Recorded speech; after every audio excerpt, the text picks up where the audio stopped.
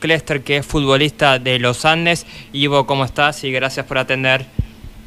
Hola, ¿cómo estás? No, gracias, gracias a vos por el llamado. Bueno, eh, Ivo, bueno, primero, ¿cuáles son eh, estas primeras sensaciones de estos, primeros meses en el club eh, en los Andes y también a nivel deportivo? Están a un punto de la punta, en algunas fechas estuvieron punteros, así que se está viviendo cosas positivas, ¿no? Sí, sí, eh, la verdad que el balance es bueno en lo grupal, estuvimos desde que empezó el torneo eh, peleando ahí arriba y, y, bueno, ahora quedamos a un punto de la punta la última fecha, pero, pero nos tocó varias fechas de estar primeros, entonces nada, con tranquilidad tratando de, de ahora este fin de semana volver a, a meternos ahí arriba, tenemos la chance de enfrentarnos a un rival directo como colegial, entonces nada, queremos aprovechar esa oportunidad. Y en lo personal eh, también fue de, eh, de manera mayor, estos últimos partidos eh, bueno, me, pude encontrar con el gol, con las situaciones, que, es lo que más necesitaba, entonces nada, eh, con confianza, viste, tratando de, seguir en crecimiento. Y justo enfrentan a colegiales en un club donde vos jugaste, ¿vas a encontrar sensaciones encontradas o vas tranquilo? Sí, no, es lindo siempre eh, enfrentarse eh, a chicos que uno conoce o, la misma el mismo club, eh, eh, auxiliario, gente que trabaja en el club, volver a, cruzarlos es, lindo, eh, tiene un condimento especial, pero nada, obvio, de, colegiales tengo los mejores recuerdos, pero bueno, ahora ya eh, toca estar en los Andes, toca pelear con ellos el torneo, así que eh, ojalá que, que pueda ser lo mejor para nosotros. Y creo que por tu paso por colegiales, creo que fue un buen paso. Capaz lo único, eh, estuvieron en la puerta por el ascenso, pero esa temporada en línea general creo que fue muy positiva, ¿no? Sí, sí, ese año para mí fue fue muy positivo. Eh, peleamos los dos torneos de, de, mm, apertura y de clausura.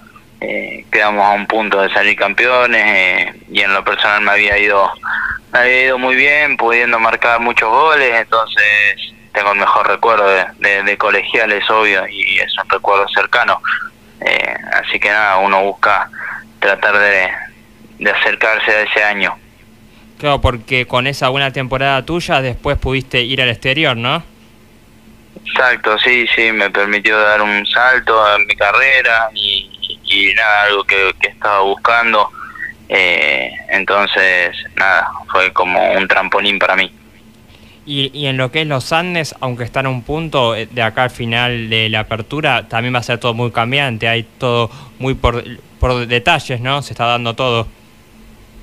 Sí, sí, el torneo este es así, eh, la verdad que, que mm, lo que decíamos ahí con los chicos, el que gana dos o tres partidos seguidos, se mete en la punta y después si no si no mantenés regularidad eso se pierde, nos pasó a nosotros, ese año en colegiales también había pasado similar, eh, habíamos agarrado una racha de, partidos ganando y quedamos primero, pero después cuando uno afloja un poco, eh, al ser todo tan parejo en la categoría, eh, si, si perdés uno o dos partidos, la verdad que, que se pierde esa ventaja que se saca rápidamente, entonces hay que estar en todos los detalles y ser lo más regular posible. Y también llegas a un club que la hinchada quiere siempre eh, el ascenso, que hace temporadas no se le da, así que también la hinchada está con esa expectativa, como cada temporada, ¿no? Buscar el ascenso. Sí, sí, eso lo sabemos, sabemos que desde que venimos todos los jugadores sabemos que, que el objetivo es el ascenso y que es esa la meta de los hinchas, del club, de los dirigentes, de todos. Entonces estamos enfocados en eso. Eh, es una categoría difícil y creo que que estar ahí peleando arriba no es poca cosa y vamos a tratar de, concretarlo de la mejor manera. Y como están ahora el torneo en desarrollo, están como en el proceso, hay que ir partido a partido también para no desesperarse para todos, ¿no? Sí, sí, sí, es partido a partido, nos marcamos plazos cortos eh, en, en el mismo torneo, que son 20 fechas, nos fuimos marcando eh, plazos cortos de cinco partidos para, para seguir arriba y así ir renovando los objetivos para, para mantenernos bien enfocados y, nada, es esa un poco la idea para mantener la regularidad más que nada. Entonces ahora eh, este bloque de, cinco partidos hasta la fecha 15 teníamos el objetivo de seguir ahí arriba y vamos a tratar de concretarlo. ¿Y en el club te sentís muy cómodo? Es un club creo de la categoría bastante importante. También cuando llegaste seguramente llegaste muy convencido, ¿no? Sí, sí, no, no lo dudé ni un segundo. Sé que, que es el club más grande de la categoría. Además, es un club que no pertenece a esta categoría. Entonces, eh, nada, es, es un privilegio estar acá. Y, y obvio que me siento como con todo, con los compañeros, con, con todo el eh, lo que implica el club, cuerpo técnico, dirigente, todo, la verdad que a pesar de ser un club tan grande, es todo cercano, entonces eh, uno está cómodo y está contento. También vos fuiste formado en Tigre y el otro día en las redes te despediste. Creo que después de muchos años, no sé si es muy emocionante, muy difícil despedirse, pero bueno, lo que hay que buscar son los minutos para el futbolista.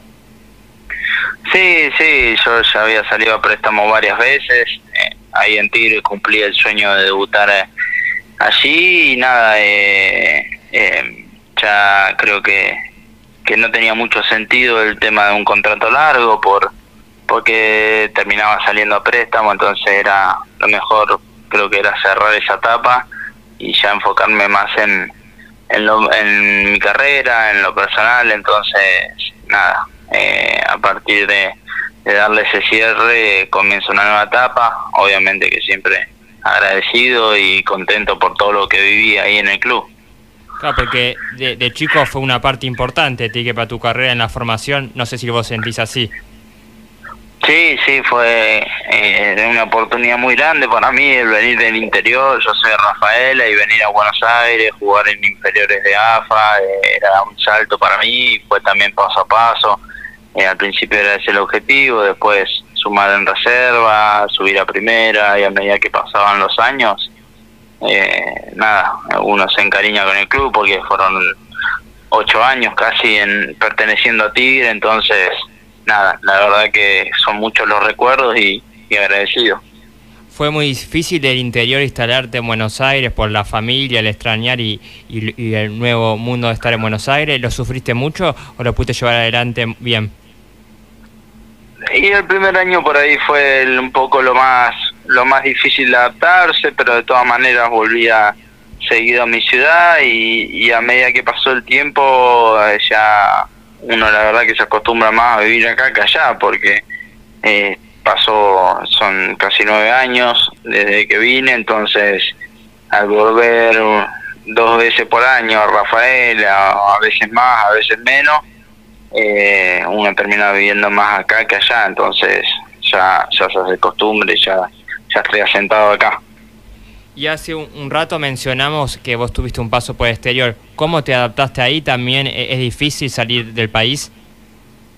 Sí, eso sí, es un poco diferente, eh, es distinto al ser otra cultura, sí, ya la distancia es mucho más lejana, no te van a visitar tanto como acá, eh, es otra es otro fútbol también, entonces un poco de todo, la vida, el fútbol, las características de cómo se juega allá, de los jugadores y todo, hace que sea un poco más difícil, eh, así que nada, de todas maneras eh, me llevé grandes recuerdos, grandes experiencias, eh, jugar en la primera división allá y, y cruzarme con, con jugadores o equipos que que uno los veía lejos, eh, nada, es, muy, muy gratificante.